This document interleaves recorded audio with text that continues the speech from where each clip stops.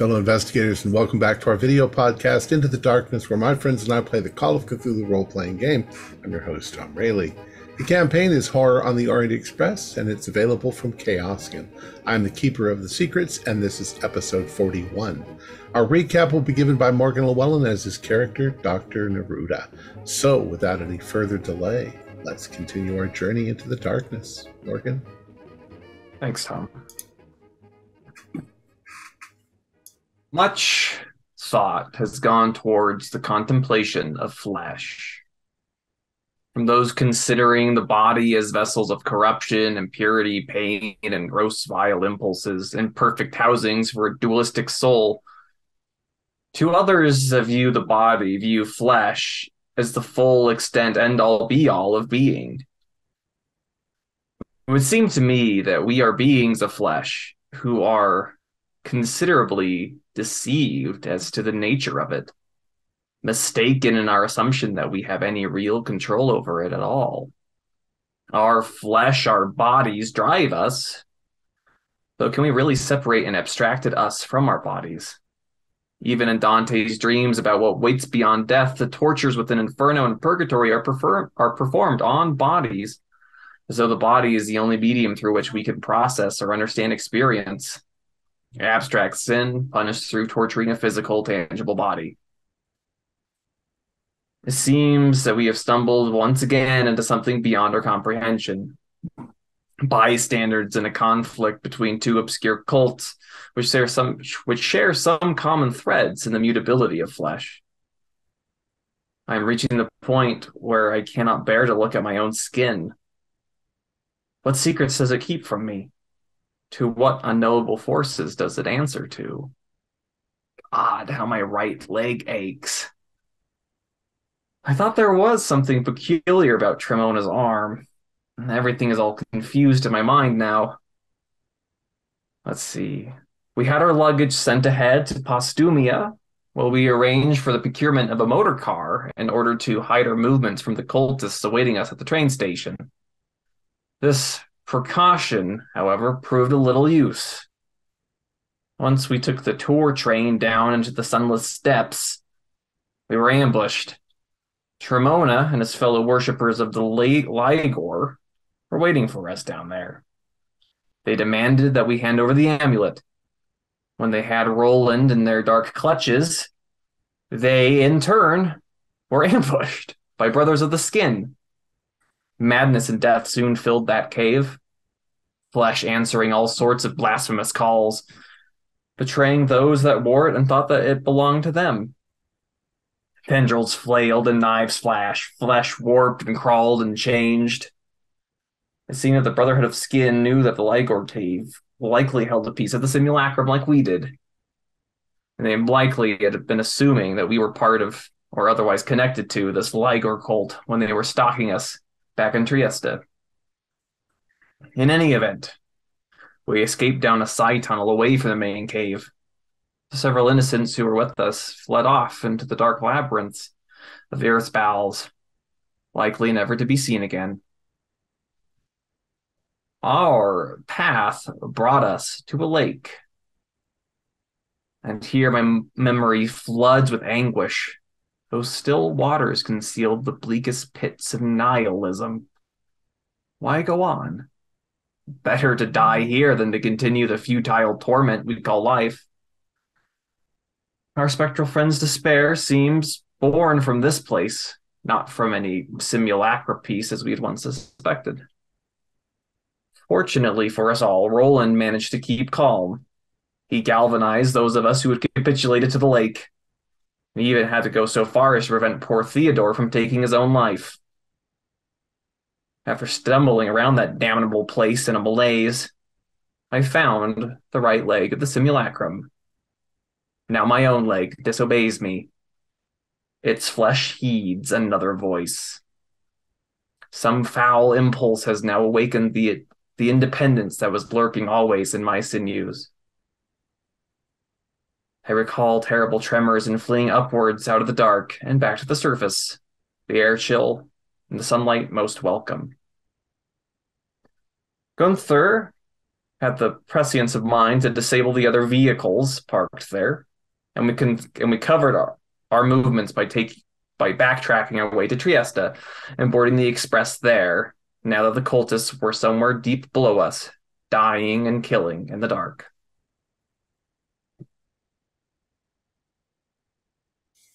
Excellent.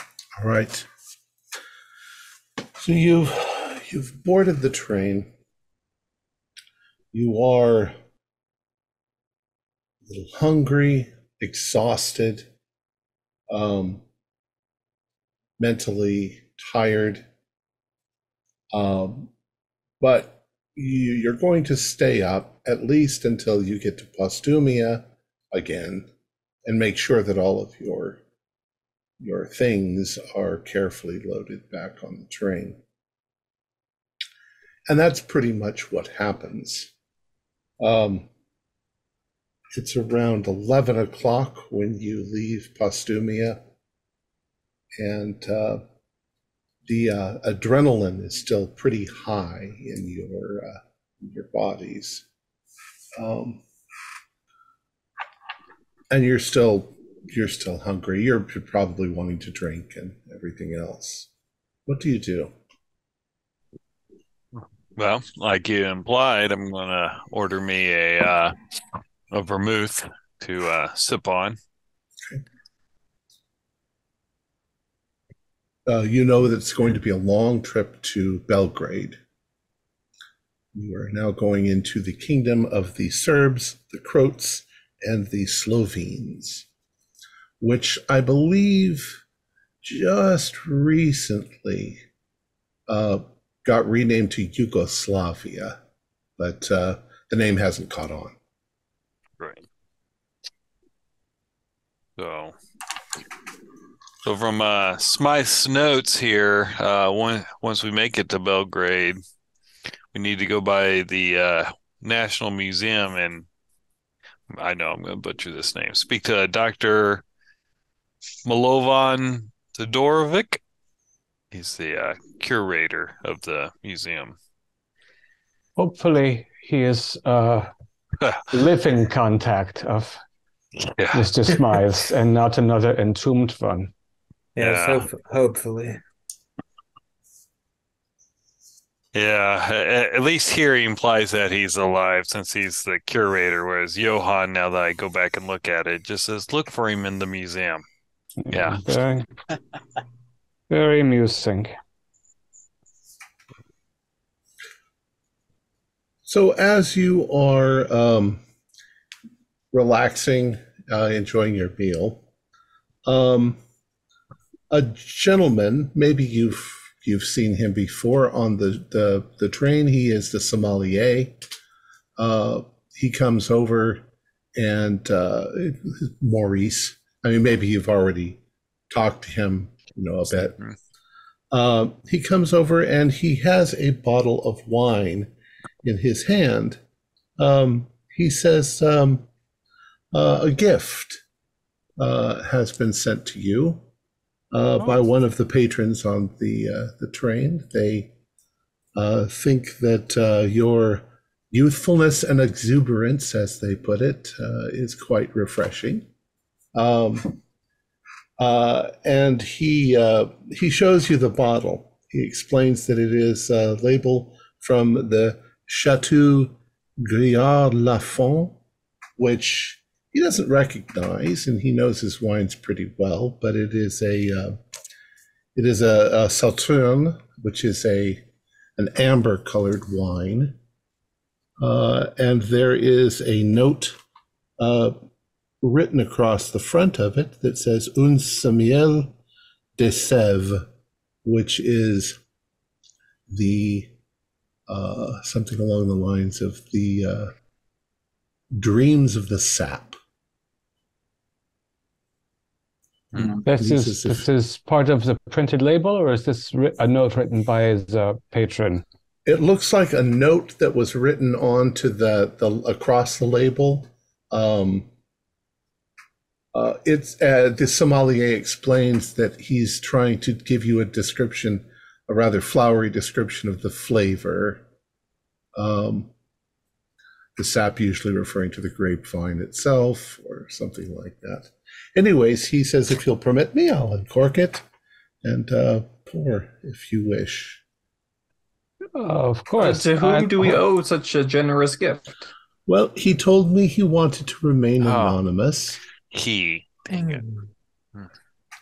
Um, he um, he pops the cork and uh, gives it a, a quick sniff, and then hands it to you uh, to smell. He says it has a profound smell.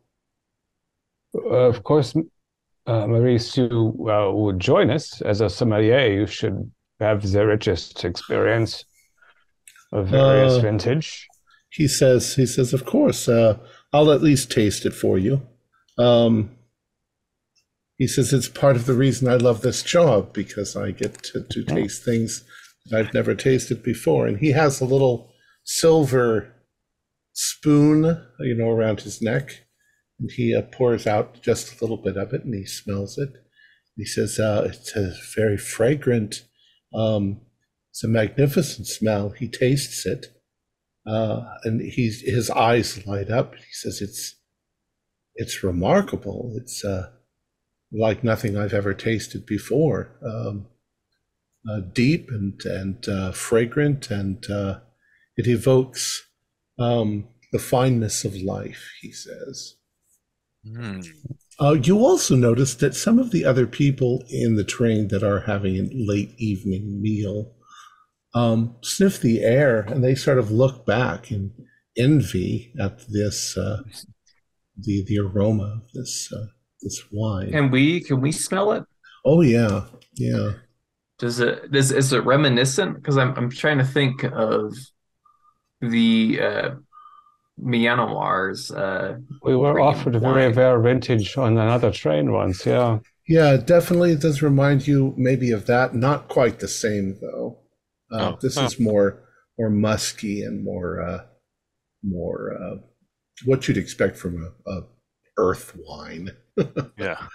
Um, Well, well, I mean, I assume I have a glass in front of me that he could pour it in. oh, he bring, brings glasses. of okay. Yeah, yeah. Uh, he pours out a little, and as he pours, he says, uh, "At perfection, the color is crystal clear, uh, beautiful amber color." Um,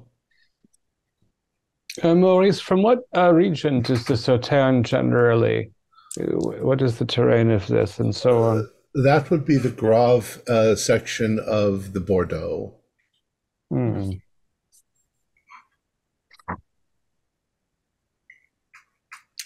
All right, so you all drink. Yeah, Prost. Uh, it has I'll, s- I'll It- take a sip. it has a strong, deep, woody sort of flavor. Uh, Hmm. um, there's layers and layers. It's it's obviously an old, complex wine. Hmm. yeah, Does you this- snatched you snatched the word right from my lips. I was gonna say complex. Does it have a year on the bottle? Uh, there is no year on the bottle.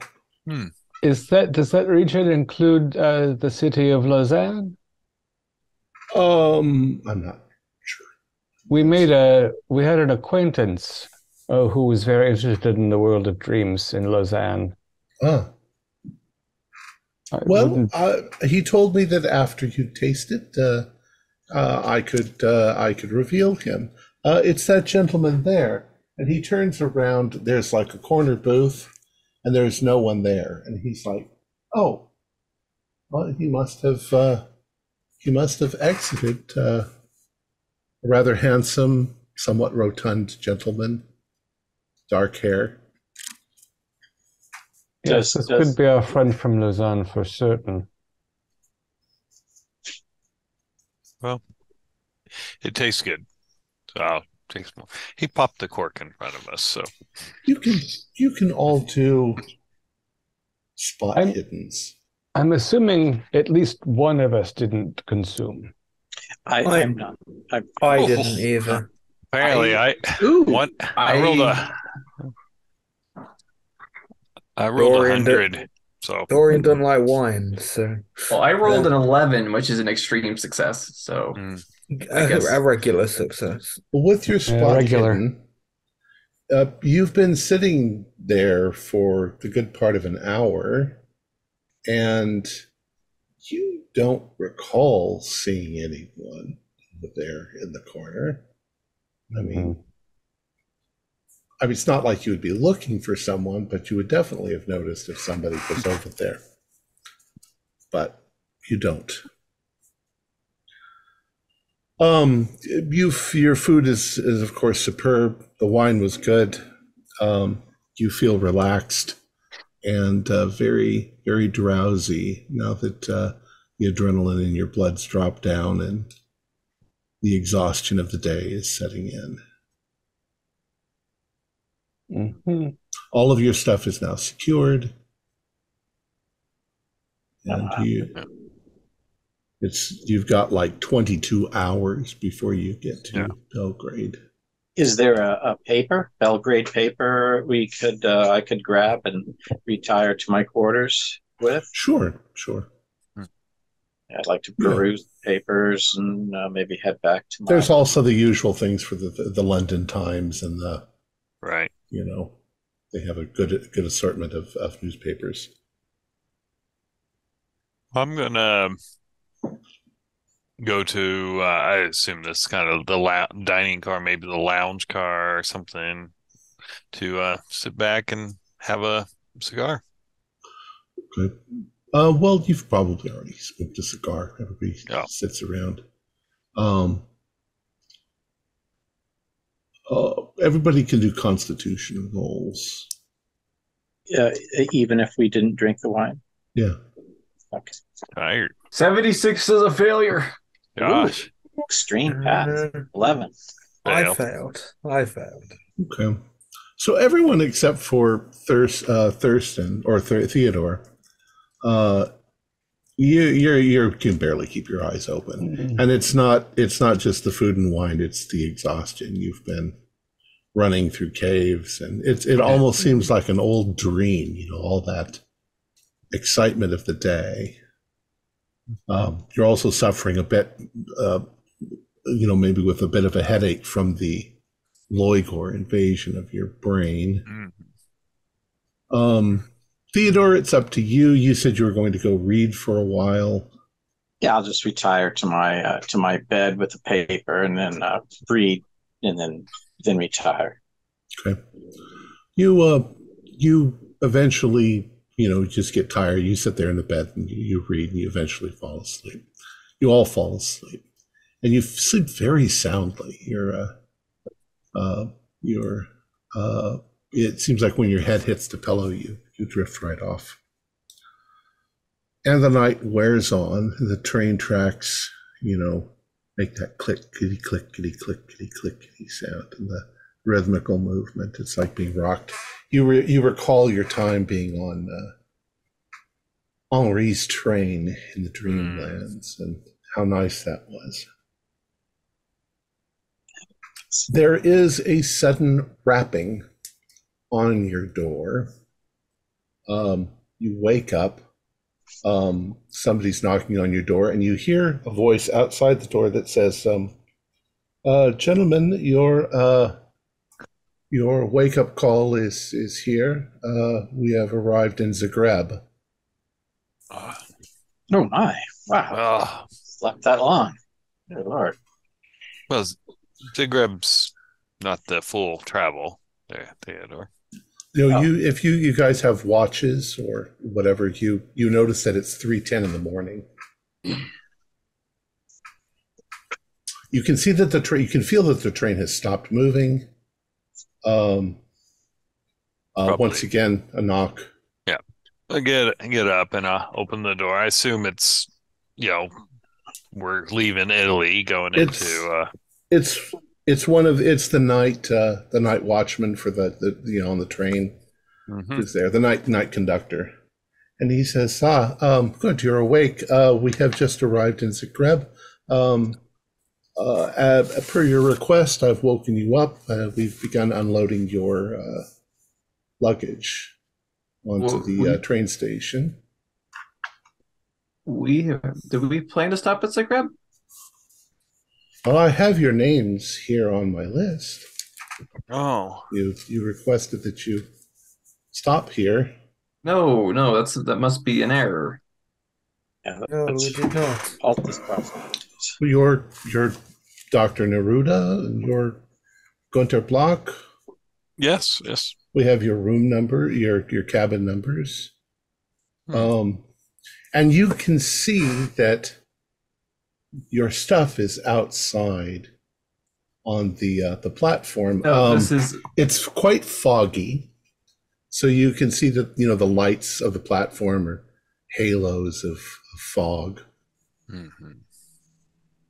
Oh, everyone do a spot hidden Yeah, this is this is an error here. It's a big error. Ooh, I failed. yes. Pass. Uh, hard. Barely a barely a pass. okay who passed I got a hard. okay as you're trying to figure out what the heck's going on um you you glance out the window onto the platform where your stuff is and uh, at first there's just kind of a shape there that you see but then you realize that there is a man. Um, he's standing in the fog near your things and he is in a long cloak cloak sorry cloak um, with the hood pulled up over his head so that it sort of it hangs down you can't see any kind of a face. And as he's standing there you see him sort of reach into his cloak and he pulls out a skull and holds it in his hand. And there's noise where you are but you can hear that he is saying something. And what you hear him say is uh, as he sort of looking and caressing this skull uh, he says uh, here's a cheek keeps her color let the wind go whistle, spout rain, we fear thee not. Be hot or cold, all's one with us. And is not he absurd whose fortunes are upon their faces set, that fear no other god but wind and wet? And the uh, conductor is saying, "Well, well, gentlemen, we've we've unloaded your things." As- Yeah. Is Well- it time to have them brought back aboard? I think that perhaps this message has been garbled. I I'm, and I there are uh, people on the platform I don't recognize. I'm concerned. Yeah, th- this is not right. Let's deal with this immediately. It is, yes, this Let is me, not uh, correct. Let me check with the the, the conductor and see. Uh, How uh, long is this station stop, please? Um, usually only a few minutes, uh, but uh, you know, where it's, it's a train, we I'll I'll get the word. If you'll excuse me, Okay. Uh, I'm nervous about our bags being out there. So uh, Yeah, next, I'll next go- to, so I'll go out there and go, "Hey, York, get away from our bags." I okay, will well, also I will don't don't get ahead of don't get ahead Okay. of me. Okay. And I- Um, I would like to follow the guy who's going to go speak to the attendant because th- this is this is not acceptable. okay, I'm going Um, I was too tired to change into my nightgown. I still have my long johns on, but I'm pulling on my pants. do because I can you barely- um do do you point out to the others the man on the platform? Uh, probably not, because I would have thought that they would have seen a. I would have assumed they saw him. Well, I, well, I saw essentially. him because obviously I. Well, Yeah. before you really move, Okay. Um, the man moves to the edge of the platform so that he's almost right outside the window. And uh, you see him, his other hand, reach up, tap on the window, and you hear him say, What ho, Gabriel and Gunter, a bed so early? And you too, Roland, Theodore, and Dorian Dabrowski, sluggards you are. Did you plan to slumber like swine and forego one of Europe's greatest cities? Hurry onwards to your gathering task. Uh, bah, come, come, I've arranged your stay here. Time flows swiftly, and we have much to talk about ere dawn. Perchance you will permit me to tell you the strange history of the Sedefkar simulacrum in full. and of what you can expect to find on your arrival in Constantinople. Ha, good fellows, let the uh, follow me, uh, and let the devil steer the course. And as he says this, he sort of walks backwards into the fog. Could this Oh, possibly uh, have been Smythe in disguise? I I would the the, the Elizabethan Shakespearean language is. I don't expect to hear that from. Su- suggest someone who perhaps has been alive for a longer period of time. Do you do you want to do a um, oh call it a intelligence? Or is it a no? Is it? Well, yeah, Education? knowledge, knowledge. That would be make more sense. Yeah. Yeah, I got a 50, which is a regular success. The um, you're familiar with at least that first thing that he said about you know the wind and, and wet. Um, that is from the Revenger's Tragedy, the third act by uh, Cyril Tourneur. I think that's how you pronounce his name. Hmm. What do you guys want to do now? Well, I'm s- I'm still nervous about our bags after all my uh, torso uh, is out. I'm assuming my torso's out there, so I'm going to uh, yeah, no, my snuggle torso. So I'm gonna go. Uh, I'm gonna I'm gonna go to the platform. I don't want my bag sitting out there while we. yeah, I am too. Okay. So the two of you step out there into the fog. It's it's quite thick, but you can you can see bits the lights in the city. Um, uh, Zagreb is a city of towers, um, old medieval towers. You can hear noises of um, you know, distant. Uh, uh, I don't know, like uh, bell-like sounds of. You know, there's belfries and there's churches and all of that. There's a slight, there's a, a very slight breeze, but uh, the fog is kind of covering everything and it looks very surreal where you are. Assume it's warmer than uh, Trieste was. Oh yeah, it's a little bit. It's still winter, so. Yeah. So still got my coat. So Dabrowski and uh, Gunter, you are on the the dock. What about the other three? Uh, Theodore, you were going to go with uh, conductor. Yeah, I wanted to make sure that we were going to get our luggage put back on. But after hearing what I heard, what that gentleman said to us, correct? Yeah. Oh, okay. So I, I'm I'm sort of thinking this is probably where we need to go. So I'm not so much in a hurry to get loaded back up. I will go out onto the platform as well. Just stay with the luggage. This, uh, I guess it's Roland and I are on the train still. Yes. This is most peculiar turn of events. Yeah, it's uh, suspicious to say the very least. However, what with the drugged wine and this ability to change the orders of the train, if this individual wanted to have taken the pieces from us, he could have let us sleep. It's true. Uh, That's what so I we was. should- W- Yeah, we must tell the porter that we're getting off at Zagreb after all, but to await further orders. I can't find my right boot, though. Uh, After a few moments, the porter does come back and uh, he says, Well, I, I, I'm sorry if there was a mix up, but uh, everything seen here seems to indicate that you requested this. Yes, it seems that in our fog we we must have forgotten. Um, So you're going to get off after all.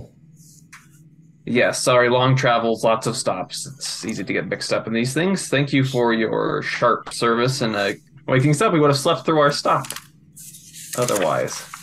So- He assists you in whatever else you need uh, to get off the train.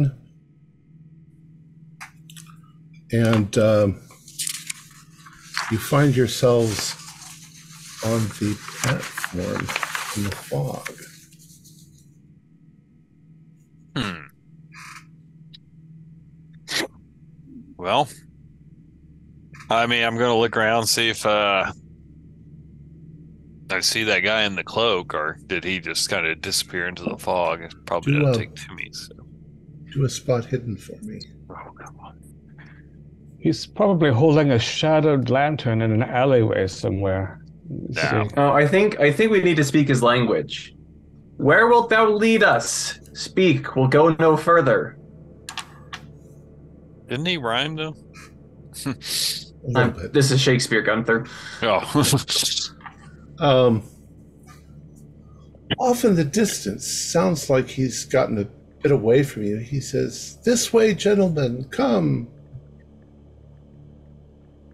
Uh, uh, do we need to bring the porters? We have our things.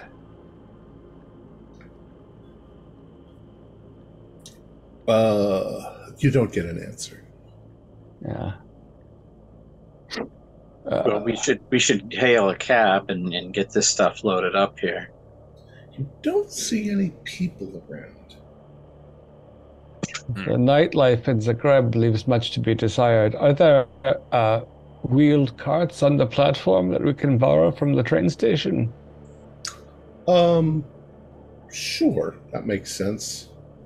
Otherwise, we need a mule or to stand watch while others follow the mad Scarlet Pimpernel fellow. Yeah, all right, so help me load this up. okay. What do we- Right. and So you- everything is accounted for, yeah? Yeah, We have all our bits and bobs. Good. everything is there. You uh, you find that the cart moves quite easily. You also have the option of you could lock it up here on the platform. I mean, he said he had arrangements. What did he say? Well, He's going to tell us about the simulacrum. That's what is the reason to get off the train, I think. Yeah. Yes, that's, Well, we that's do have- what's important. yeah, but if we do can lock it up, I'd much prefer that over pushing a cart through the city. Yeah. Oh, Yeah. definitely. Yeah, we might hit cobblestones and we might have to be in chase.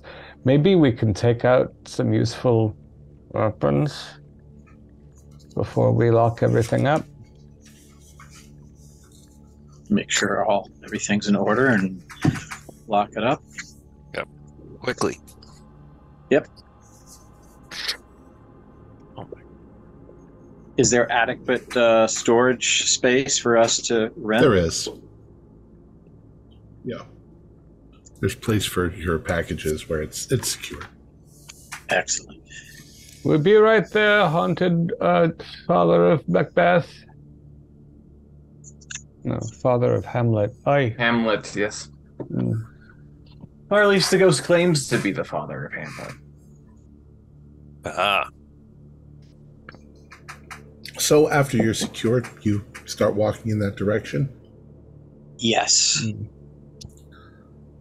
The um, the city is wet because of the uh, the fog, uh, and as you walk into it, um, the streets are narrow. The streets, uh, the buildings are a couple of stories, most of them very medieval sort of uh, architecture.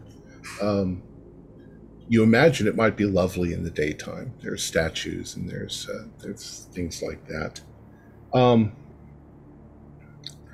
as you walk on, uh, you notice on one street, um, you think you're going in the right direction. There is a young man. He looks like he's maybe probably in his 20s. Um, he's on his hands and knees on the cobblestones and he's moving around as if he's looking intently for something on the ground. Um, there are a couple of the cobblestones he's actually managed to pry up and uh, and look under. Um, Hmm. and he's you can hear him saying, "It must be here. It must be here somewhere." Oh, good sir. What what are you searching for? You- May we lend a hand, or It's it's my wedding day and I can't find my ring. It's here somewhere. Uh he then just sort of keeps going, not like he's regarding you much. How is this young fellow dressed? And what sort of speech does he employ? He's speaking normal. Well, he's speaking probably uh, something you can understand, I guess. Um, Yeah. Uh, he's dressed in in modern clothing. So he's not another ghost who's burying things. Right, and Uh-huh. he's uh, seems uh, quite uh, frantic, looking for something that he this ring that he's lost. Well, Um, good friend is the bride on this important night. Everybody do spot hiddens. Ooh, that's a hard pass. 40 Like, for uh, a regular success. 08, which is a regular. If you pass, um, while you're here with this young man, you see just down the street um, the sort of shape of the cloaked man um, walking away because you can see that he's holding the skull in his hand.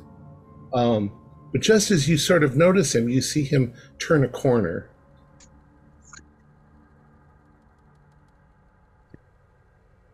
I'm gonna keep up pursuit. Yeah, same. You're going to keep following? Yeah. Of course, you know, keeping your head on a swivel, you know, make sure. Sure. Uh, so you're going to leave the uh, leave the man in the street behind? Yeah. I, I might. I'll, I'll I'll stay and help him a little bit as long as I can still see the rest of everyone, and then when they are nearing being out of sight, I'll leave them and hustle up to catch With up. With the fog, that's going to happen rather quickly. Oh, okay. Yeah. Well, I don't want to get separated. I wish him well and be on my way. I'll uh, bend and uh, light one match to see if I get a glint of gold, You don't see anything. and then I will hand him the matches and wish him well.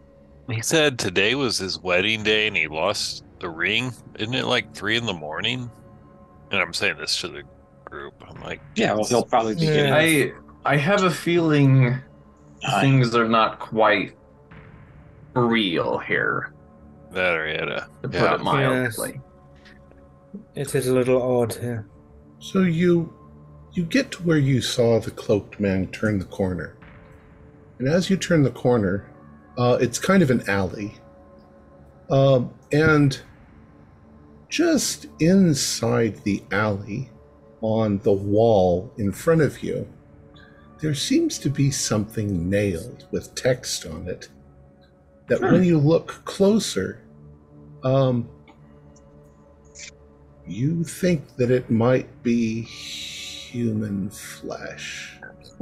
Oh no, not these guys again. We were always destined to be together. From the moment I saw you, I loved you. So beautiful and cruel, so heartless and perfect.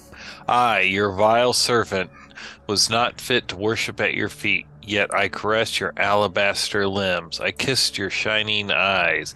I held you close, closer than skull to skin. Lovely. I knew from that first moment of ecstasy that we were doomed to part that you would use me and discard me as a snake escaped its old skin. I tried to write down all you were. I thought that I thought that way I would remember you. I thought I could pin your essence down like a flayed hide and hold you forever in my heart. I should have known that any attempt to describe your loveliness was doomed from the start. Yet I wrote in a fever of longing, and I drew on your scrolls of skin. I hoped and dreamed that you would always be with me, but now you are gone. All I have left are a hollow hide and words. Empty, useless, tormenting words. Uh, When he said, go ahead. I mean, he said he would tell us the story of the simulacrum. I didn't anticipate uh, it to be in written form. The uh, figure, when he held the skull up, were his hands visible? Um, yeah, you think so. They weren't merely gloves. Um, that's cold. He probably did have on gloves. Yeah, he probably did. I wonder if he wrote this on himself. Off in the distance, you hear Perhaps- uh, laughter. Sounds like the man is. Uh, sounds like the same voice. You hear him say, "Why are you dallying? Why are you waiting? Come quickly, come. The night But- is short." Is it But- perhaps that he is the lingering spirit of the leper who betrayed the knights in the text that we read? Maybe.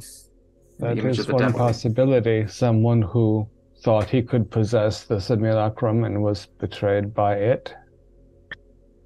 I'm gonna touch the note and see if, like, you know, because of its new flesh, he'll still maybe have some squishiness, for lack of better. Feels a little Sure. like leather. Okay. Well, I will proceed to follow the voice. Okay. Yeah. Yes. So you go, you go down, you know, out through the alley into courtyards that are foggy with iron railings, and uh, um, you can't see the tops of buildings. You can you know, the fog obscures everything as you go along. Um, you go through that courtyard into another street, and there are shops along the way, all of them closed. Um, everybody do spot hiddens. Pass. Fail. Uh, 95. hard. You notice something catches your eye in a shop. It looks like it is a shop, a carpet shop, and there Oh. is uh, there is a large Oriental carpet uh, that seems to be heavily embroidered with text. Oh my, look at this. My love is the pure love of a worshipper who adores the idol that he's never seen. Until we meet, I am in torment. I can do nothing but seek you, plot and plan and yearn for that moment when I hold you in my arms. My heart, my body burn for you. My life is yours. You hold it in your white, white hands. To prove my love, I killed a man for you. I took him by surprise. He thought I was his friend. He trusted me, and I butchered him in the night. Yet once was not enough. I killed him a second time, my arms red with blood to the elbows. His shocked eyes held the final betrayal. I wept as I wielded the skinning knife. Still, you were obdurate, so I killed him again. And the man I murdered to prove my love was myself. This shop, it appears to be closed for the night. The door is Correct, locked. yeah. There are a few lights on. Uh, if only Thursby you had also had the wine, I would assume that we were all sharing, uh, inhabiting the same dream, as all of this seems so unlogical. Yeah. But I definitely did not drink it, at least so. Uh, with my recollection, I did not. This is mighty bizarre. Yeah. But we might have not all we might not all tasted it like me and Thursby didn't, but uh, the aroma was so strong, and you never know. Just sniff. Mm, Well, If we, Yeah. that that rug said they killed him with a knife, right? I mean, not that killing someone with a knife's unique, but Arch Archangel Lee or, killed Winkleman with a knife. mm, He, he was his friend and betrayed him. That's where my mind went immediately. Uh, but the last the last word of this disturbing passage is that the man that he killed was himself. The narrative whoever is the narrative voice inflicted violence upon themselves. You know, I think we are following some sort of uh, homegrown apostate of the, the the flesh cult. Someone who has his own relationship. Hello, how far are we going? It is late and we were drugged. Keep coming. You hear his voice. Uh, let's just keep following him for now. Does the does the city is the city landscape changing as we go? We don't know Zagreb, but we can tell if we were entering, say, a dangerous part of town or walking out through the gates into the countryside. Um, you know, you're definitely still in the city. Um, uh, Yeah, usually Oriental carpet shops are not in bad neighborhoods, so Yeah. if if any of you have uh, something about geography or an interest in maybe knowledge, general knowledge of Europe, Uh, I have history. you you could roll history. Yeah. I'll go off. if knowledge is still an option, I'll go first. I failed history, but I failed his- history by six points. So, but I passed knowledge. I passed the knowledge roll. Okay. Well, Zagreb is uh, Zagreb is an interesting little uh, city. It's kind of shaped like a uh, a lozenge, if you will, um, and on one side is a river. Um, I can't remember which one. And uh, the other side also has water canals. There's lots of water canals. Um, so it's got a little bit of that Venice sort of feel. Um. But yes, outside of it, it's mostly countryside and farms. So you would know if you were leaving the city. And to to to to add to that, I mean, occasionally you do cross a little little bridge over a canal with water running in it down below. So on you go, walking in the shadows, following this uh, this distant voice that you never can quite seem to catch up to. Uh, you enter a churchyard. Uh, you're crossing the, the cobblestone floor, the, the cobblestone road, and you, you suddenly hear a different kind of laugh, laughter, um, a chuckle, um, but it seems to be coming from above you. We'll do spot hiddens. Barely passed. 90. Zero nine. Man, dice are hot. Hard. Gunter, as you look up, there is a large, grotesque um, gargoyle on the church uh, roof overhanging the edge.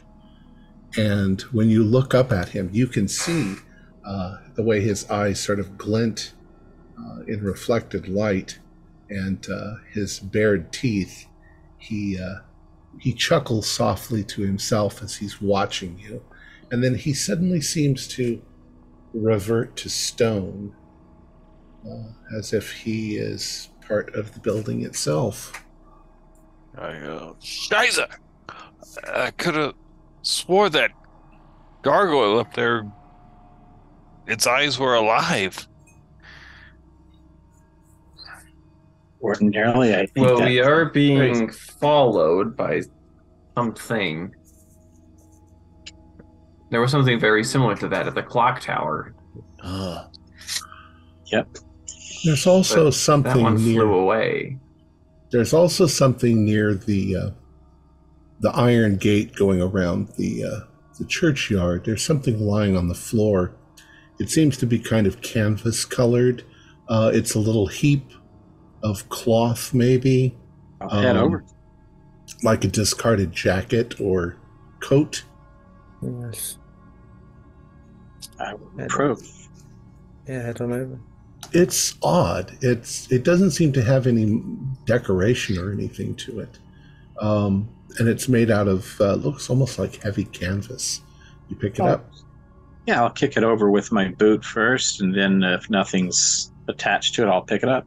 It is a straitjacket, Oh, Hmm. my. like from an escaped lunatic.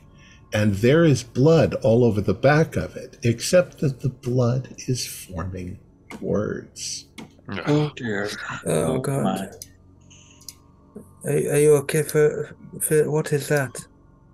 Uh, Good lord, here we go again. Something very disturbing. Oh my god. I lust, I hunger, I thirst, I rave. I cannot live without you. You are under my skin. You are myself. I had you once. Then I was perfection, killing and reveling and laughing with joy. I lost you and became a brute, mad with desire for what I have lost. I want to kill myself, but I cannot. My shriveled skin resists the knife thrust. My dead heart cannot be stopped again. I will kill all those pathetic would be lovers who stand between us. When I seize you at last, I will despoil you, ravish you, consume you. You will be me. I will be perfection and laugh and kill and revel once more. Oh my.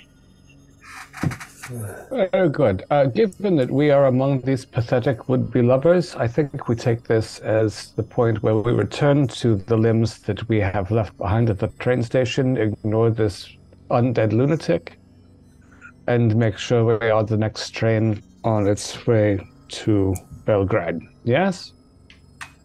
Hmm. Yes, but that still doesn't answer the question as to. Oh, it, there's got to be a reason, really, why we're here. It isn't it intriguing? Is that 4 a.m.? The bell tolls. Yeah, don't ask about that. We need to be careful. The bell tolls four. it does. I hope that. Well, I mean, we got off the train as little after three. I mean, has it? I mean, No, it's not the passing of time that alarms me. It's the fact that the fellow announces that he intends to murder us. Yes, but the fact that whoever this was probably is the one who somehow made it so we got off the train. Yeah, so he can try it again. I, Possibly I, he was the wine man, so. I suspect that he was. So what is your point? I, we should keep following him for the next six hours until he picks us off one by one? He has shown us, I think, something of his nature, and I want nothing to do with it. No, but uh, we might learn something new. Yes, I'm concerned about the ideas that he can't be killed, however. I, I it- personally, I can be killed. If it. Maybe It we was curious how him. we knew who we were and we, what we Exactly. had. Which is much worse than curious. I think if we don't pursue, we will continue to be pursued. So isn't Yeah. it worth just. Do you wish to pull off the rotten bandages? Yes, and what the the, cre- the creature as well. What, what was this? it seems. you- he- Oh, it seems he wants to to give us tidbits of knowledge more. I I dare say we we might want to gather this knowledge, as dangerous as it may be, but we are in a dangerous game. Well, he's playing a game. Yeah, Under the bell, under the sound of the bells, he is playing a game with us. And we should play along. and knowledge is our only weapon here, as we found out not long ago. Bullets and knives sure don't do much. I, I also fear an inability to get back to the train station in this fog. Exactly. Would be Yeah, different. well, the sun will rise if we keep going at this rate. All right, we'll follow him. Hello, fiend, body thief, where are you now? A uh, woman comes sort of stumbling into the square where you are. Um, she's acting odd. She lopes and she lolls, and her head twists back and forth. Um, she seems to be gargling with tear-filled, tear-filled, tear-filled mirth. I've seen a man ahead, she cries. A man. Ahead. Ahead? Mm. And she begins to laugh. Yes, And then she cries. the whole town's gone mad. They're all full full of puns and rhymes. Does she look living? Does she look solid and She she looks like a street person. Um she's dirty. Um but there's some color to her skin and she's Yeah. solid? We're okay. All right.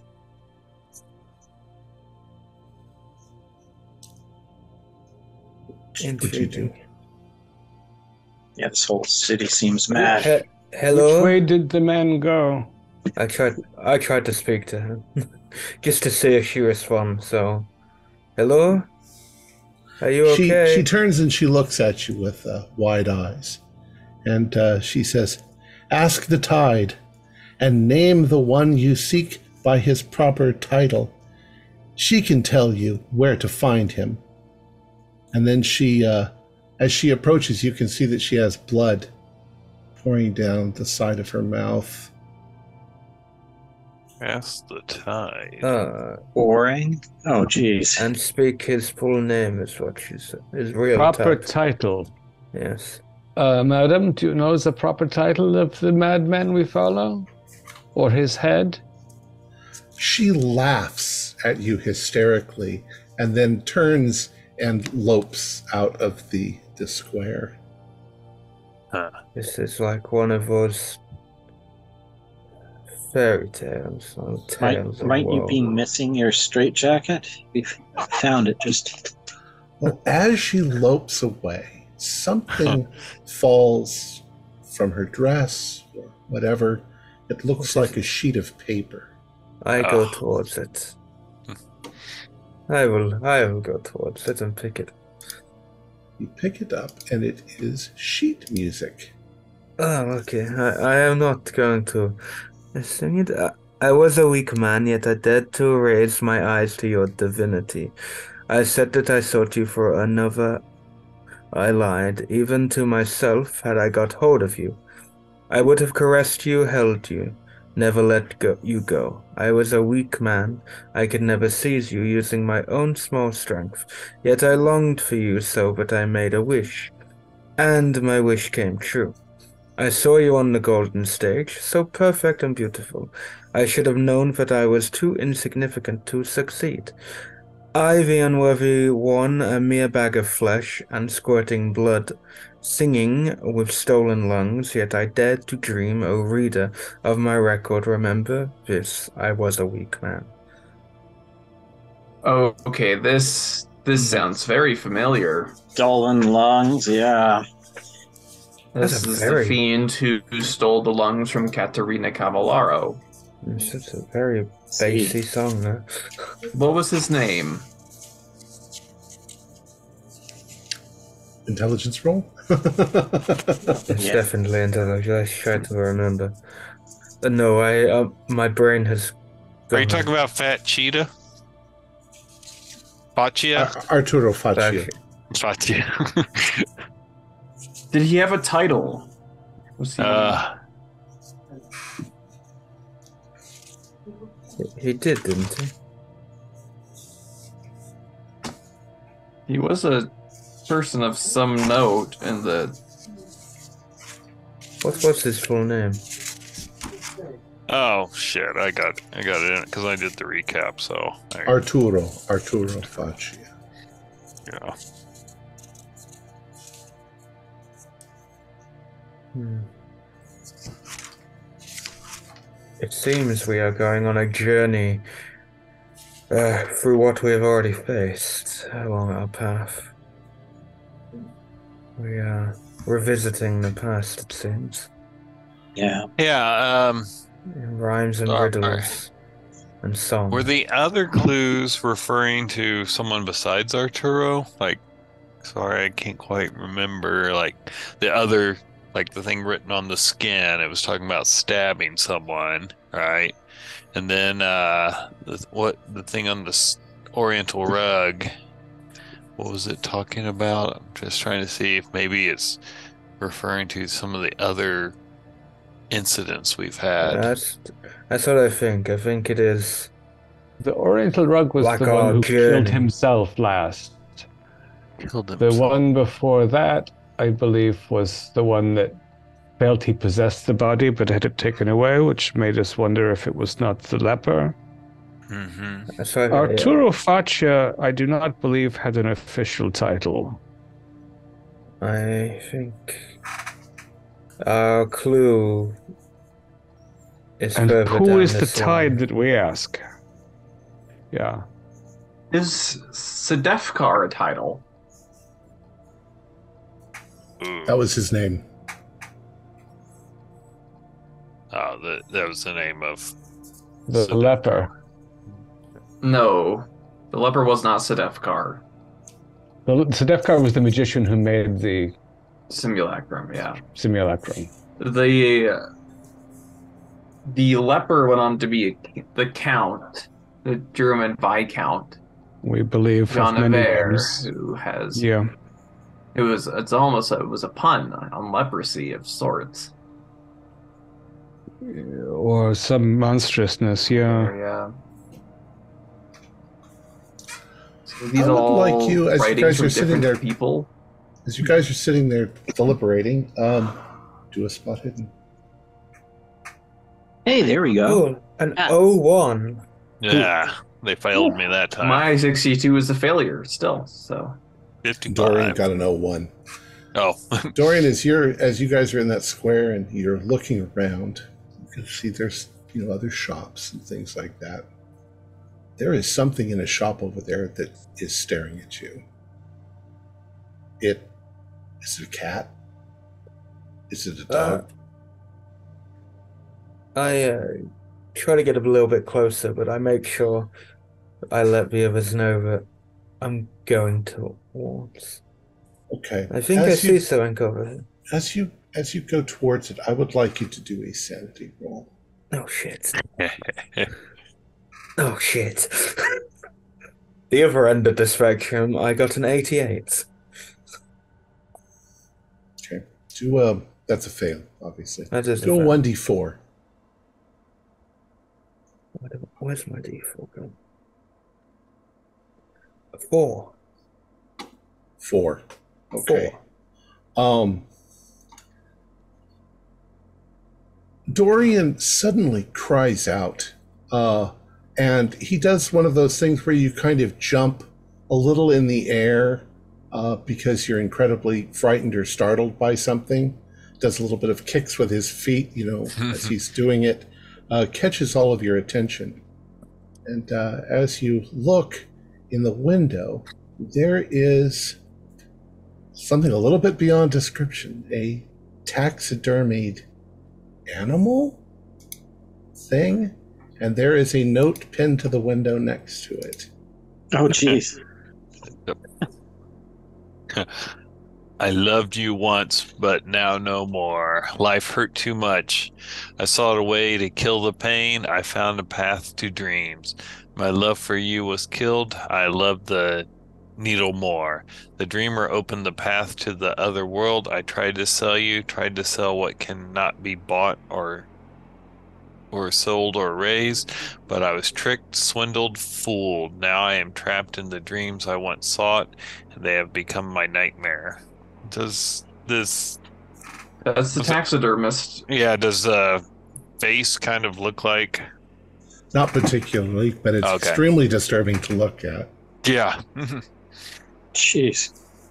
Do, do Oh, we God. take SAN checks for that, or uh, yeah of course you kind of got warned because he Dabrowski jumped up in the air and freaked out I, I, I took the brunt for you. you can you can all you can all do uh, uh, sanity rolls and you'll Yeah. just lose just lose one if you fail I passed. Oh. Edgar Wellington, rest in no peace at all. I trust that we are dreaming now. Surely this is not a real thing that we are seeing. How about that? Once again, we'll from wait. the distance, Go. you hear, Why are you dilly dallying? The time is short. We have until the break of dawn. Yeah. Where Who- next? So as we're following following this voice, I'm trying to think. The young man with the wedding ring. That first note and the rug. What are those referencing? Uh, the young man with the wedding ring wasn't the the victim that the girl saw killed on the streets of Venice. Wasn't he a bridegroom? Oh, yes. Oh yeah, that's right. Yeah. And the So- gargoyle. Is this? Are these all things that this thing has killed? That's been following us? On a trip down memory lane, almost. Because Faccia was killed by something. By being Faccia was crushed some height to- or crushed Yeah, or something. smashed. Yeah.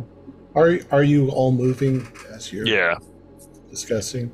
All right. I am. Uh, So, yeah. uh, Dr. Neruda, do a spot hidden because you were talking about a specific thing. Oh seven is a extreme success. Something in the ground kind of changes. It's still cobblestone, but the um, the mortar between the stones seems to have changed. And as as you look down, you realize it's a liquid. It it it looks like milk. It seems to be seeping from the uh, the spaces in between the cobblestones.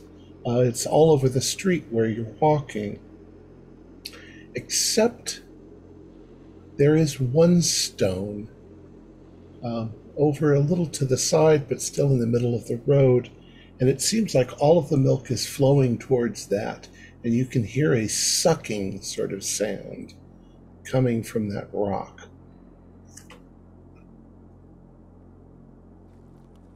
I'll go over to it. You can visibly it's almost like the sound of a drain and it seems like the milk is all being pulled in perhaps under this rock you're not sure if the rock is actually firmly cemented in either I'll I'll like kick it or like press my like my foot up against it and like you press your foot up it. against it and you can see that it's quite loose I'll roll it aside. okay Um, as you roll it to the side, you see that there um, is a pool, a little pool of, of milk underneath it. And uh, setting in the center of the pool of milk is a gold ring. Like a wedding ring. I will cautiously ready to pull my hand back at any moment. Reach in for it. It's just a gold wedding ring.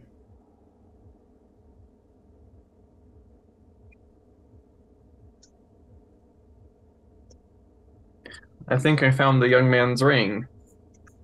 Oh, he was a long way from where it ended up. Time Sure. and space means anything here. You're not so sure about that. Maybe you haven't gotten as far as you think you have. I I, I look around. Is the young man still here? Do a spot hidden. Ninety-three. Call yeah, you don't see anything in the, Yeah, in I'll, the fog. I'll call out. I'll go. say, uh, uh, uh, we so- found your ring.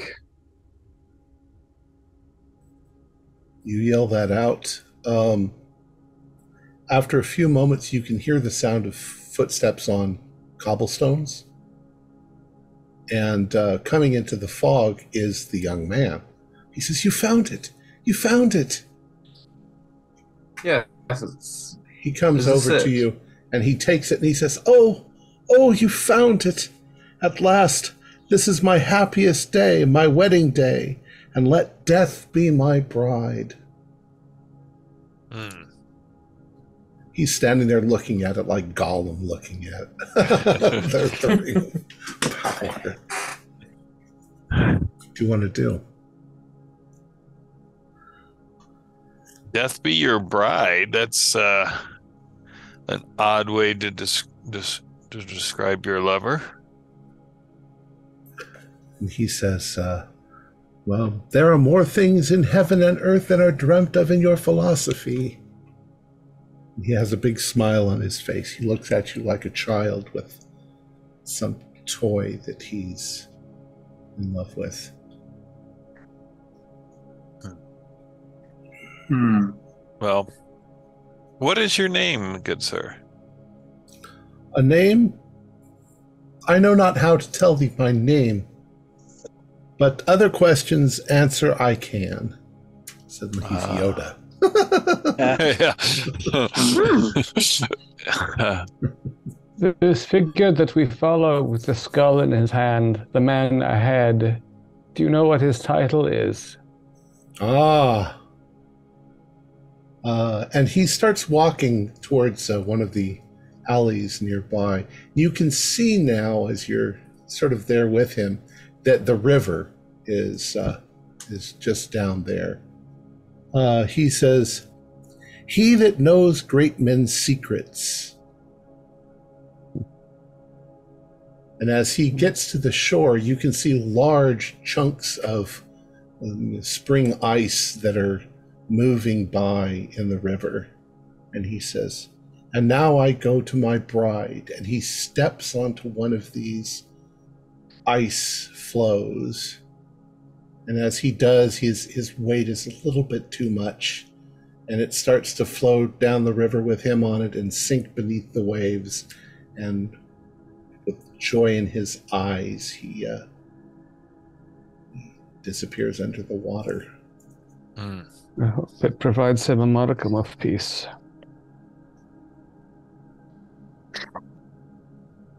Yeah, these Uh, people. well, help. we have we have reached the water. Is this a tidal body? I don't know. It, it would appear to be winter runoff. Yeah. Perhaps he was speaking metaphorically. Do a spot hidden for me. All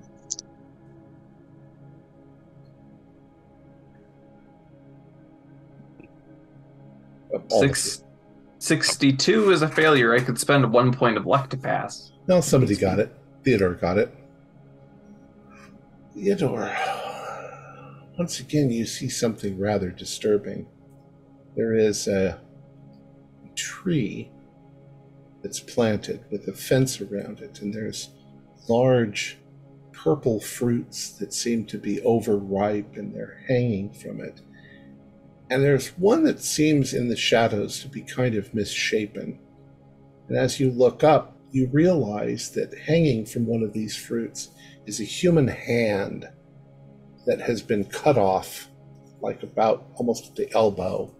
Oh, dear. Um, it's dripping, and there is, you can see that there is, you think at first scar tissue, but it, it seems to be composed of patches of different colored skin. And there is once again text written on it. oh my God! What is this? Got yet another gruesome clue. Right here. Life rips the weak apart with lion teeth and lion claws. I was strong. I glimpsed you from afar and knew I wanted you. Knew that you would only give yourself to the strongest of souls. I ripped others' flesh from their bones to rebuild myself. I tore through dreams to find the path to your door. I know that when we meet, you will join with me forever. I am unlike all the other fools who whine that they love you. I am strong, yet you still shun me. You turn your face away. I see only one smooth white shoulder. I would bite the skin from that shoulder. I would tear and devour. This sounds like the jigsaw prince. Unhinged. The uh, simulacrum seems to draw uh, only the foulest of nature stored it, which makes me wonder a bit about ourselves. Or it's or it corrupts them. It might take individuals and initially mesmerize them. Oh, Oh, is it five already? Passing so quickly now. Time is moving very quickly.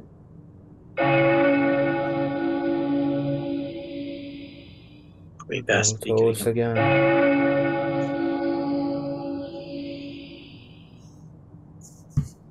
It tolls for us, I think. Let me press on. So on you press, occasionally catching a glimpse of Shadow, occasionally hearing his voice from afar. Um, uh, there's a garbage can, and you can see that there is a small book lying on top. Um, uh, it is completely blank except for a single page. I look at it.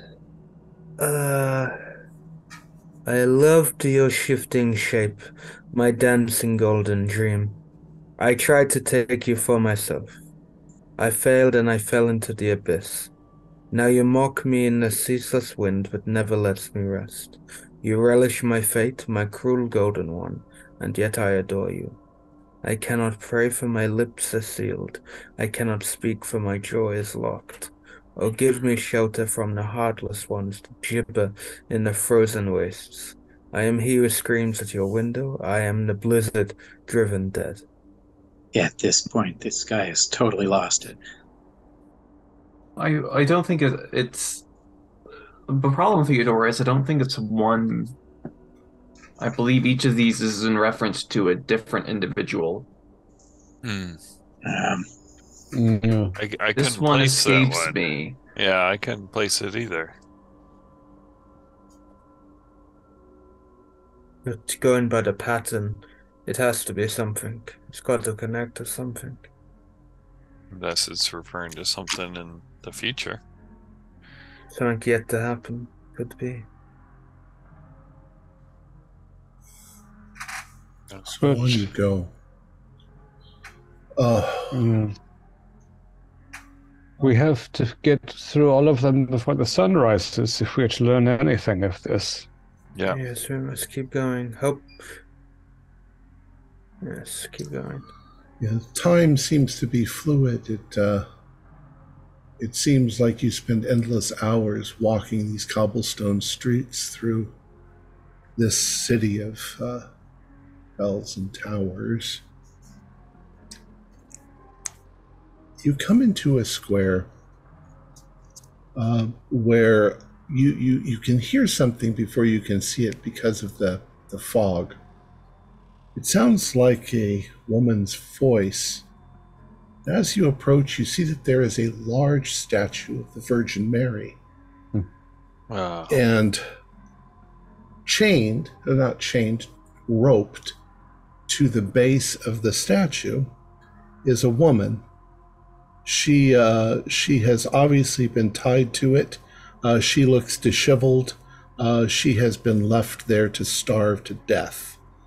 And she yells out, Hear my crime, hear my crime, which was to show that my mother's toil is just as great. So why cannot my son be the son of God also? You can see that she's tied. Tied. Tied. oh, yeah. Was it This to is the one who is tied.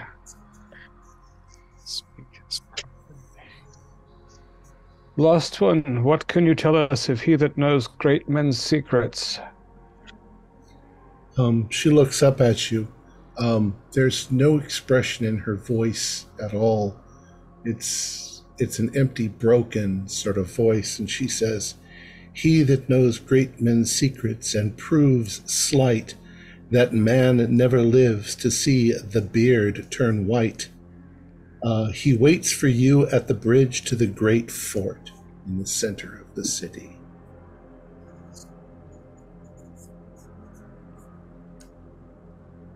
mm, Is there some way we can appease your suffering, lost one? I am a criminal. I wish peace upon you. Which way to the center of the city? That way. She sort of gestures with her head. God be with you. Is that roughly the direction that the voice in the distance is leading us to? Yeah, probably. So, once again, you move forward. And if it's not a nightmare, it feels like a nightmare. Yeah. Um, there's something ahead in the fog, something swirling, something brighter than the fog itself. Um, you can see like little firefly lights or or something else, but the fog swirls before you, and as it swirls, it begins to form letters. You are ours. We do not care for you. We seek only the gold. We long for it and claw for it in frozen how. Yet we have you. Water, drop by drop, forms a limestone skin upon you. The millennia unroll while we wait in the dark. Stalagmites form over you like icicles. You are one with the rock. Your loveliness does you no good here. You will stay with us now. You know, the despairing tones of the cavern beneath the cave. Yes.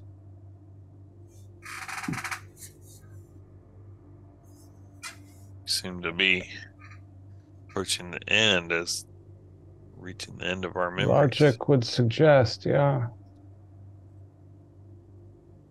So perhaps the one that felt so frozen uh, was the man murdered in the hotel with the cold of the Bora.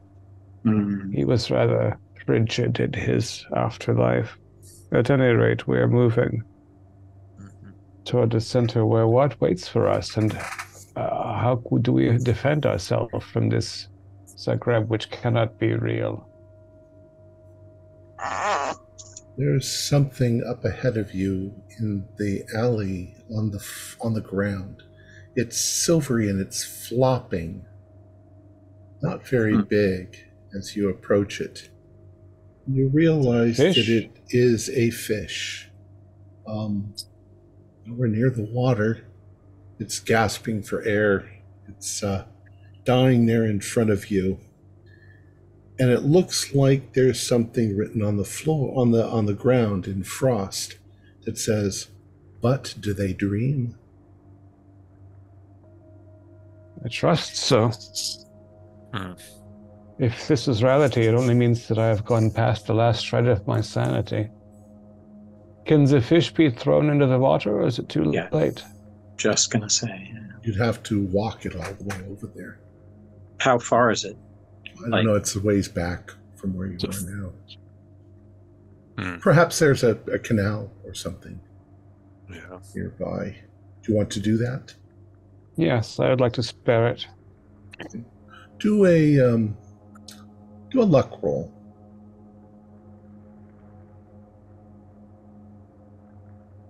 Well, I have not rolled under 70 yet tonight. nice. wow Yeah. So as you as you sort of pick up the fish, uh, it expands its fins, kind of in agony, and as it does, the spines of the fins uh, prick into your hand. As you look down, you see blood on your hand where it pricked. Uh, there's not a lot of blood, but you can see as the blood sort of drips for a moment off your hand um, it seems to form a kind of red mist in the air. And it seems to expand and to grow, and it moves ahead of you in the fog and forms letters. And there seems to be something dark behind it all. Flesh of my flesh, skin of my skin. I love you with the love that devours all things lives, souls, worlds, time itself. When you return with your thousands of years of hatred and power and madness, you will provide one brief chord in the cacophony that surrounds the throne. Hmm. So that figure is the thing that made the simulacrum possible. The thing that Sedefkar offered himself to.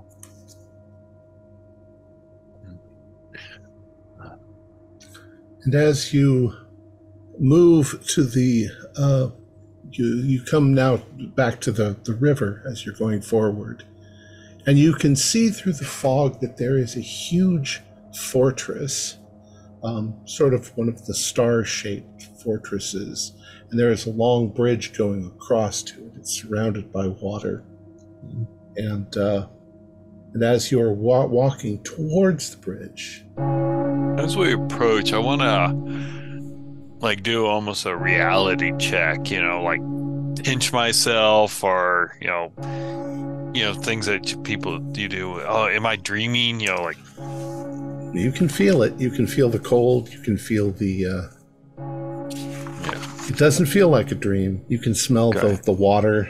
yeah, None of these things worked on the train either. Yeah. true. There are dreams and then there are dreams. More for As you um, as you approach the bridge, just before the bridge, there is a large gold ornate mirror. Um, you can see yourselves in it, and as you are looking, words begin to form on the uh, the glass. I am the gold golden mirror. I reflect your souls. I do not see love. I see hunger for power. I was not created for your vanity. I am misused except by those who made me. Power is meaningless. Love is meaningless. If you truly loved me, my beauty would consume you. All those who truly love me die for me. You can see across the bridge the cloaked man is standing there. Is is the bridge crossing a, a moat that has It- water in it? It's crossing the moat? river. Yeah. Oh, okay, okay. Is is it so? So the fort that's on the other side Mhm. is surrounded by the river. Yes. Okay, and this bridge is the only bridge we see crossing it, crossing to it. That is correct.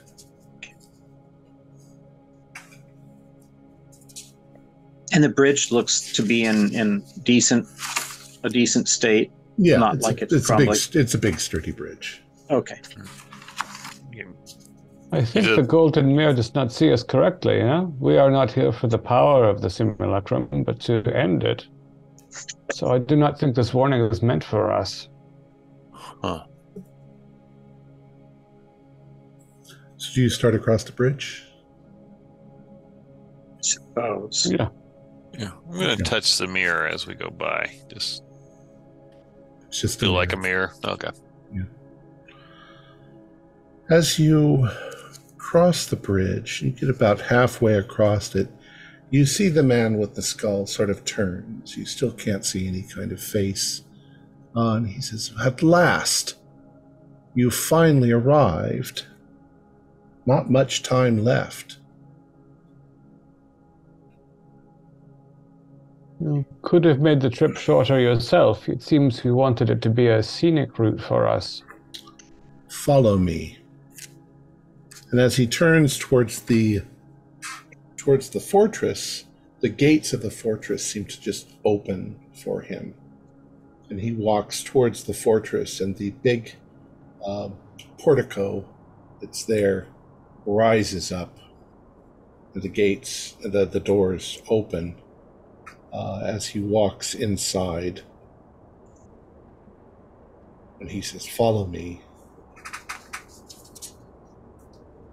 Okay. Um, once you're inside, you go upstairs. You go across a uh, a balustrade, um, and you end up winding up a tower that uh, seems to be the highest in the city above everything.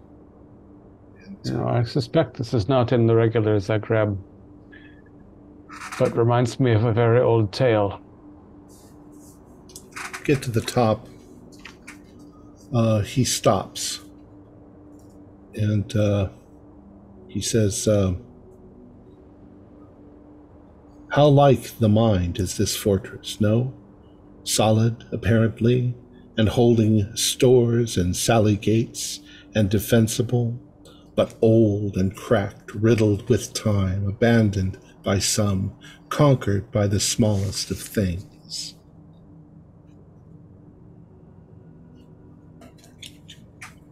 Has What it been do? conquered?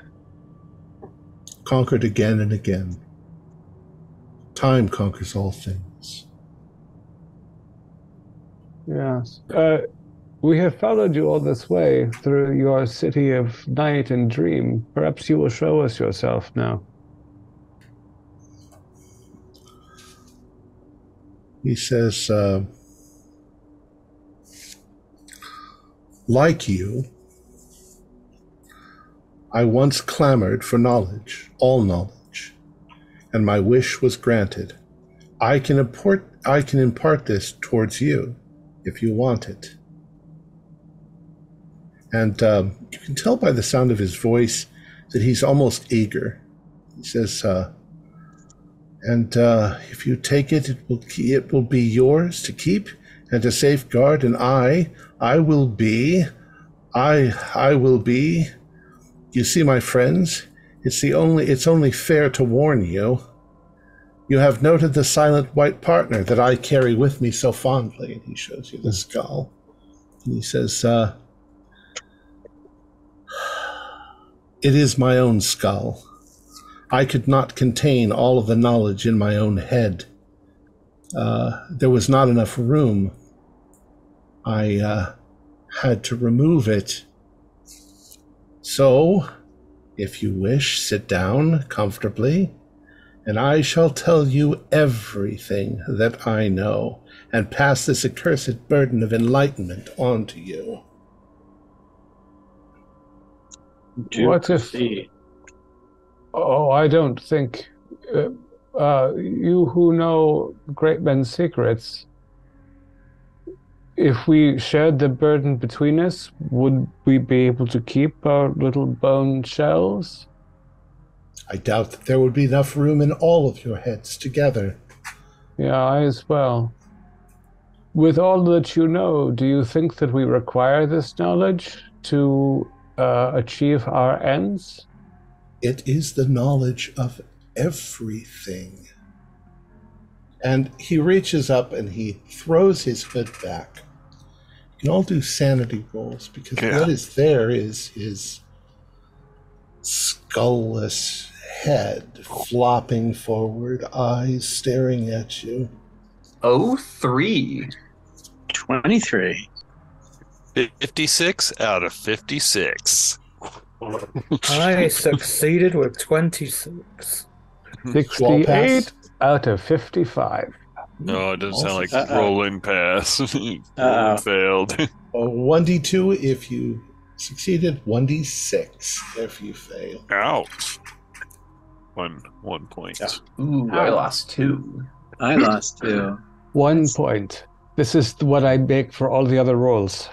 Uh, Alright. Right. But Roland, you you failed. You're the only one that failed. Yeah. Okay. When when you see this and you I mean you're you're keeping yourself composed, but as you step back and you're staring at him, you can almost feel the flesh on your head itching, uh, like it, uh, and your and your eyes beginning to bulge. Yeah, I thought maybe it was necessary now. I think it's time to run. And I start to stagger down the stairs. So you're leaving. Uh, uh, he says, "Wait, I can tell you many things. Every answer to every question you've ever." I, I do not need all knowledge. No person needs all knowledge. Such a thing is impossible. Where are the scrolls that we seek? Ah, you have asked. And he begins to talk. Now, who left? Roland, you're you've moved away. I'm Um. I'm moving away. Yeah. The rest of you are still kind of there. Yep. Oh yeah, I'll even step a little closer. Okay, well, information, knowledge seems to be coming out of him and into your mind. But It's time to go. It's uh, uh, one as I say it here, one by one, hideous secrets of existence are bared, naked and jagged or implied. The cataclysmic power of the Cthulhu mythos, the horrible pointlessness of the universe, ghastly prophecies for human uh, humanity's future, and every minute that you listen, you lose one d10 sanity points. Oh, how? So, those of you who are listening, 1D, 1d10 sanity points. You're automatically. Oh no! Uh, I have realised that I've actually Oh, been past no. my I've been past my twenty percent threshold for a little while. I've only just realised. what did you lose, Thursby? Ten. I rolled ten. You were eager. I lost five. I I lost five. do, do I have to roll? Because the second the knowledge thing happened, I was out. You get the you get the first. First. Oh. And Oh, seven. Oh, just to clarify, I am on twenty nine sanity altogether. Ouch. All right. So, the first minute's gone by. Who wants to stay? Who wants to go? Do I roll to what happens? Do I lose it though? You can I'm- just act. You can just decide whether you want to stay. I'm gonna do intelligence just because of where I am sanity wise. I'm just gonna see if I'll burden myself. If if you stay, another one d10. Oh See, yeah. give- um, I am. I'm out. I'm out. I I, su- I succeeded. So I use my common sense and leave before I go mad. Okay. Does it does it feel like I'm finding out where the scrolls are? Is it just like there's nothing of void and there's these horrible things at the center of the universe? Just- You're not alright. quite sure. Yeah, Yeah, you're, okay. you're screamingly overwhelmed by what he's saying Yeah. to you. I probably uh, kind of uh, stagger back, uh, maybe fall, and just start scooting away from him. Um, so, Doctor Ro- Doctor Kurz, Doctor Neruda, you've caught up to him. Um, Gunter, you're backing away. Theodore, Mhm. Oh, I'm running like mad. Dorian, Yeah, I uh, I ran away. before you took another hit. yeah. Okay. So you can hear a sound in the distance other than the bell. It's the it's the the whistle on the Orient Express. Um you are making a mad dash trying to find your way back through the city for the fragile memory of the way back to the station. Everyone make an intelligence roll. Oh, okay. 46 in the Five. pass. Extreme. Extreme. Regular. But it is my first success. I failed by a few points. You fail? Anybody else fail? Yeah. Okay, Dorian, you fall a little bit behind as the others are running.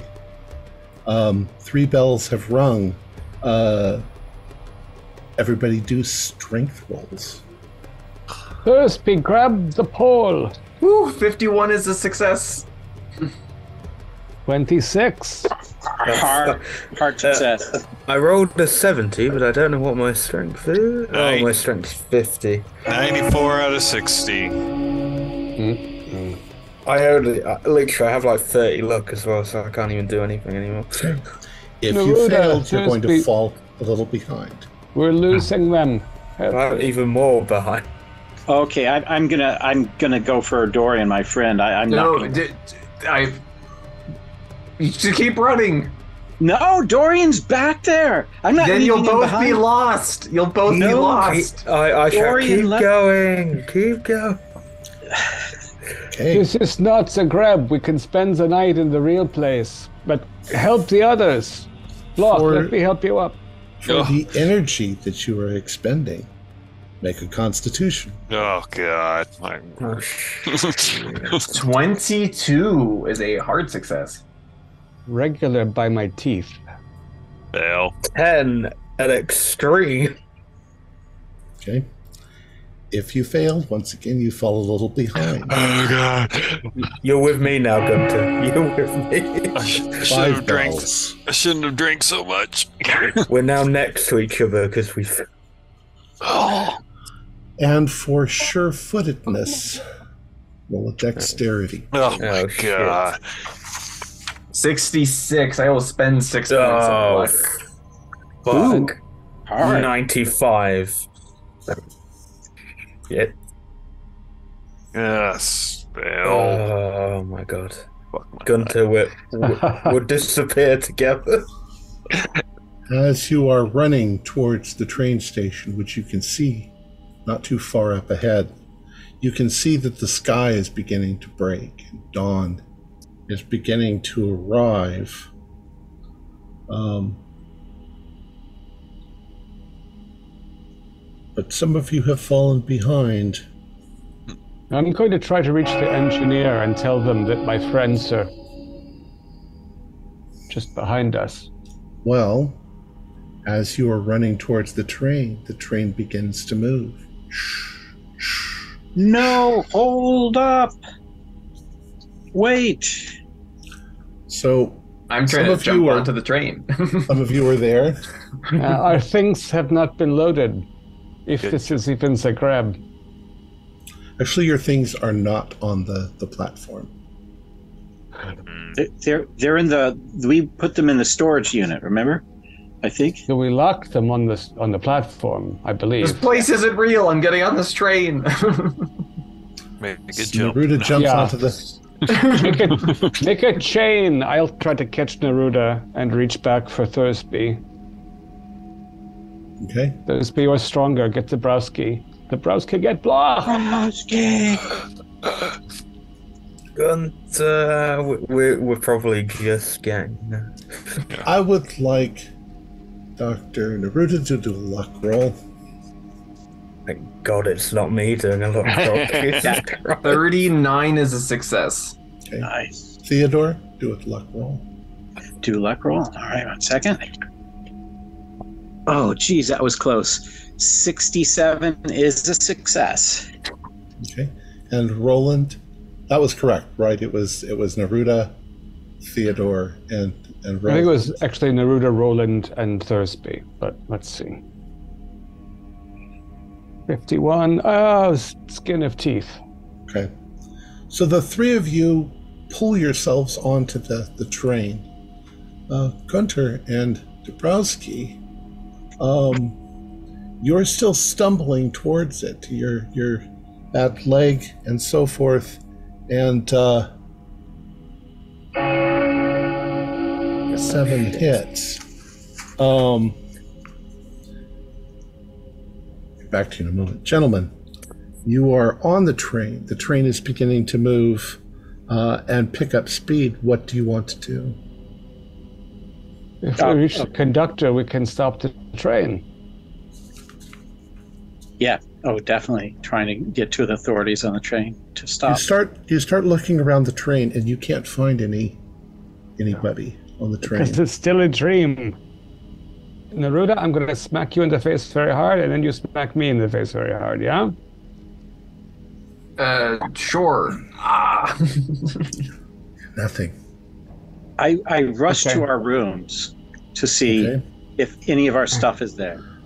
Theodore, you uh, open up your room door. When you do, I'd like you to do a sanity roll. Oh no. Do I see myself? Do you see yourself lying in the bed Oh, I was. asleep? Oh, Jesus. Um, no. Uh, it it frightens you. How did you did you pass? I passed. Yeah, just zero, zero points of sanity. Um, you, in fact, all see yourselves lying in your own bed. Um, but something seems wrong. Uh, these things that are in the bed almost seem inhuman, and you feel the train sort of lurch. And when it does, it's like you are waking up from a nightmare. You are in your beds, and you you wake up, realize the train's moving. Um, uh, the whole thing seems like like you're you're you're wake, waking up from a, a horrible horrible dream. And just as you wake up, there is a clamor outside your cabin. Your doors suddenly fly open, and coming into your room is yourselves.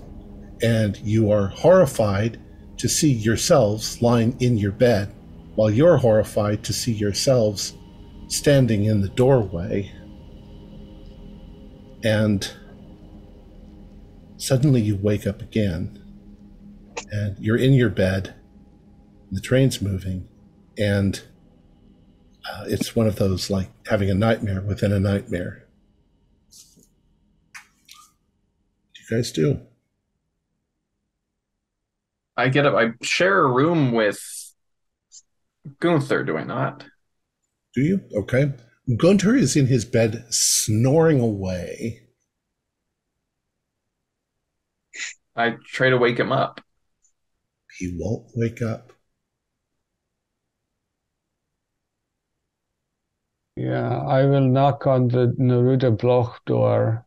Uh, I I don't remember who's in what who's sharing what berth. I, I, I don't. I thought I was with either Gunther or Dorian. You can say whatever you want because it's a You're different with me. getting on it. Oh, Perfect. oh, I was with Dorian, and I can't wake Dorian up. thing. Anyways, you find Dorian and you find Gunther, and they are sound asleep, snoring away, and you can't wake them up. And what hour is it now that we are in our bodies on the train? Because we should not have been in Zagreb for four hours. Is it 3.15 or is it 7 in the morning? Well, as you are trying to figure out what's going on, the night conductor uh, comes walking down the hall and he says, Oh, good gentlemen, you're awake. Um, I was just about to wake you up. Um, Oh, not for Zagreb. It's 310. Yes, it's Zagreb. Uh, we're about to stop there and uh, we will uh, unload your stuff. You asked to be uh, let off in Zagreb, correct? Um, one moment, we have to discuss. There were some changes of plans. We will uh, follow you down the hallway. Uh, Neruda Thursby, do we have to get off here to wake them up? Or should we carry on as planned and stay away from this cursed city? Because maybe he can do it again. He, we did never plan to stay here. The one who knows everything can do it again. I, I I do not feel safe staying in Zagreb. We, sir, there's been a mix-up, sir. We cannot. We have no intentions of getting off at Zagreb. Well, let's Yeah. see. Um, oh dear, I actually have the wrong room numbers, or the wrong cabin numbers. Um, I am so sorry that No, uh, we were awake. We were awake anyway. I think also though we'll have a little bit of coffee in the lounge, or yeah. yes, um, uh, yes, uh, I, uh, absolutely. I'm, I'm extremely. Uh, we usually don't mess things up, but uh, yes, of course. Uh, yeah. No, we will be departing in Belgrade. Um, thank you. And uh, he goes away to do the rest of his duties. So I'll, I'll tr- oh, oh, excuse me. Uh, uh, uh, do you have any smelling salts by any chance? Of course, of course. Is could could we get? goes uh, goes to the kit and gets the smelling salts. yeah, I'd, I'd like to bring the smelling salts to uh, to Dorian and see if that hopefully can. Okay. So you you hold that you crack the smelling salts underneath his nose, um, he sort of makes a, a grimace in his sleep, but he does not wake up. Really? Maybe they're better off if we let them sleep it off. He is warm. As we take his pulse, his pulse is normal. Pretty much, yeah. If if if we open the eye and shine a light in it, is does it dilate regularly? And Um, yeah, and you also when you open it up, it's moving around. uh, so he's yeah, heavily dreaming. Okay. Yeah, I will have one coffee My and one God. cognac and go back to bed. How are you feeling, Neruda, so to speak? I my head aches. I can barely stand on this right leg of mine. Oh, Definitely oh, shaken, that- but not stirred. I was I was tempted by that thing, and yet the beginning of it felt so jarring that I fled, and I think all the powers that be. Yes, I was all his knowledge was madness. Can, do we, We should- pull out? Oh, can- Please do, are we pulling? Are we pulling out any memories from what flooded Oh. into our minds? There are flashes. How many points did you lose? I lost oh, seven. Ten. You gain that much Cthulhu mythos, and you Oh, lose geez. that much sanity. That's your. or you your lose that much max. Yeah, That's max your. sanity. It's on- off your max sanity. Yeah. Oh, so I lose another ten? No, no, your maximum sanity goes down by ten. Oh, okay. Which it did from my from my SAN loss. No, That's your your sanity went temporary down sanity. from the SAN loss. Your maximum that you could ever have went down by ten Oh, to I got correspond with your gain in Cthulhu Mythos because it's got it. Okay, your max is like ninety nine minus your Cthulhu Mythos skill. got it. All right. Um. Yeah, nothing you seem to be able to do can wake up Gunter and Dorian. This is so not good. I, I just don't know if we get off. If we get off at this upcoming city, if this is going to help How them. how we can't we can't how can we get off and just leave them here sleeping on this train? I think they will wake in the morning. You know, it's only 3:15 now. When seven o'clock comes, the dreamer's spell will be over. I- Or we have lost I our fear- souls I forever fear in Zagreb. Roland is is right. I don't think there's anything we can do. Really. Yeah, and maybe we shouldn't do. Maybe if we let them dream, they will experience less. Yeah, yeah. Maybe this could just be like a, a drugged experience. I didn't drink the wine though. Pretty sure, and don't know No. why this has occurred. Well, that Don't- thing knew how to do a great many things. I assume that the hand that was injured by the fish has no injury. There's nothing there. No.